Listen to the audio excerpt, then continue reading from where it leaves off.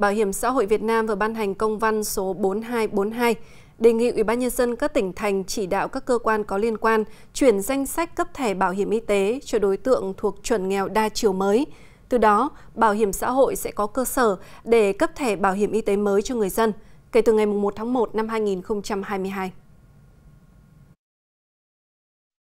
Nghị định số 07 của Chính phủ quy định chi tiết về chuẩn nghèo đa chiều giai đoạn 2021-2025. Theo đó, năm 2021 tiếp tục thực hiện chuẩn nghèo tiếp cận đa chiều giai đoạn 2016-2020 theo quyết định số 59 của Thủ tướng Chính phủ. Cụ thể, tiêu chí thu nhập đối với khu vực nông thôn là 700.000 đồng một người một tháng, khu vực thành thị là 900.000 đồng một người một tháng. Giai đoạn 2022-2025, chuẩn nghèo đa chiều thực hiện theo tiêu chí thu nhập là 1 triệu 500 nghìn đồng một người một tháng ở khu vực nông thôn và 2 triệu đồng một người một tháng ở khu vực thành thị. Bảo hiểm xã hội Việt Nam đề nghị các tỉnh bố trí ngân sách địa phương, huy động sự hỗ trợ của cộng đồng, doanh nghiệp, các nhà hảo tâm, hỗ trợ thêm kinh phí mua thẻ bảo hiểm y tế cho người thuộc hộ gia đình cận nghèo, nghèo đa chiều và hộ gia đình nông lâm ngư diêm nghiệp có mức sống trung bình trên địa bàn, đặc biệt là với những hộ nay không được ngân sách nhà nước mua thẻ bảo hiểm y tế theo quy định tại Nghị định số 07.